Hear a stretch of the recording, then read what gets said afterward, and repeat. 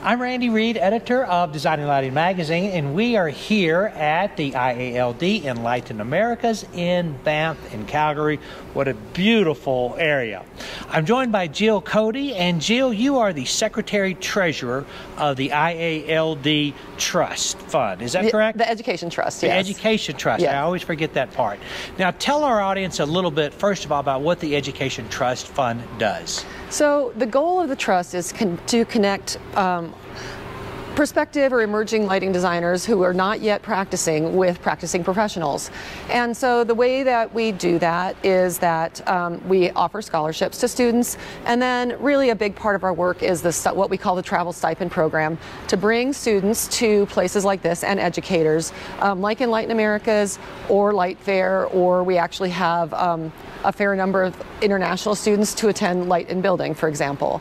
And the goal there is to really get them in um, first of all, understand our industry and how great the work we do is and the people, um, and to get them a little enthusiasm and understanding around that, and also to connect them with our practicing professionals. Sure. But I find it interesting, you said students and uh, teachers, educators, right? Edu- right? Educators. Yes. Okay, I didn't know about the educators yes. as we, well. They're part of our community, and they're really okay. an integral part of a helping students understand that lighting design is a career, um, right. where they, you know, because a lot of them are coming from uh, affiliated programs like architecture or interior design. And so we, sure. as an industry, we get a lot of those people coming in from all over the place. My education was in interior design and I found my way to lighting. So we're really just trying to, right. they're good guidance for those students to help find their way to lighting.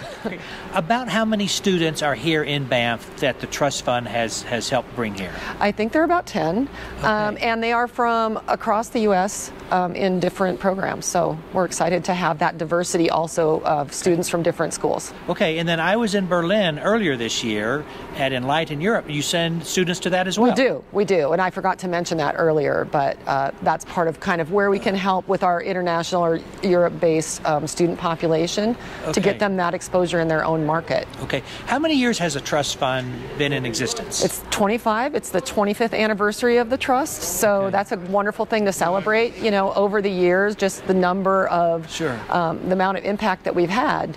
You know, there have been hundreds of uh, students who've gone through the program, and, and, a great many of them are practicing in lighting design or an affiliated industry. How does it work? How do you choose the students? Um, there's an application process for them, um, depending on um, like how much how much fund we have available.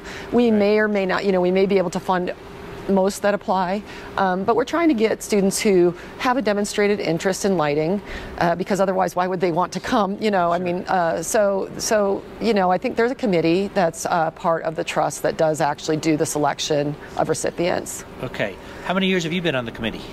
Uh, this is my uh, third year, okay. and um, I'll be incoming next year as the president of the trust. Okay. okay, excellent. May I ask, what is the balance of the trust right now, ballpark?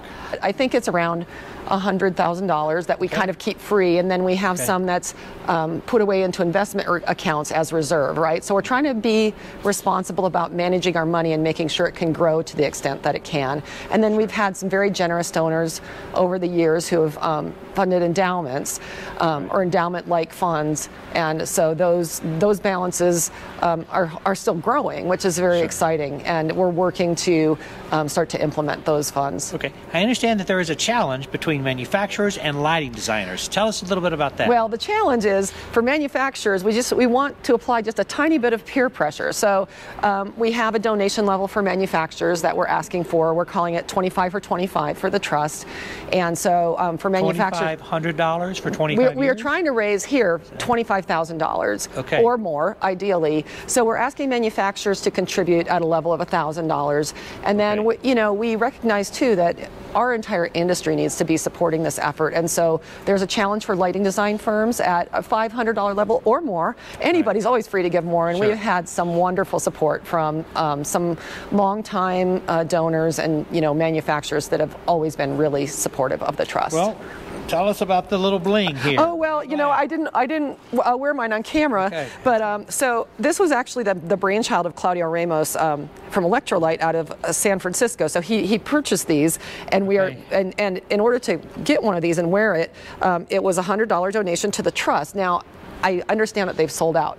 So here's what I'm saying Great. is I believe that there's a secondary market for these things now because if somebody wanted to buy mine for, let's say, a more substantial donation to the trust, I would be super happy to do that. And I know a number of people who would too. So it's not too late to get the bling. All right.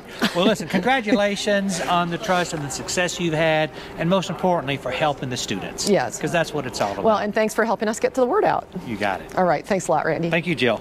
Okay.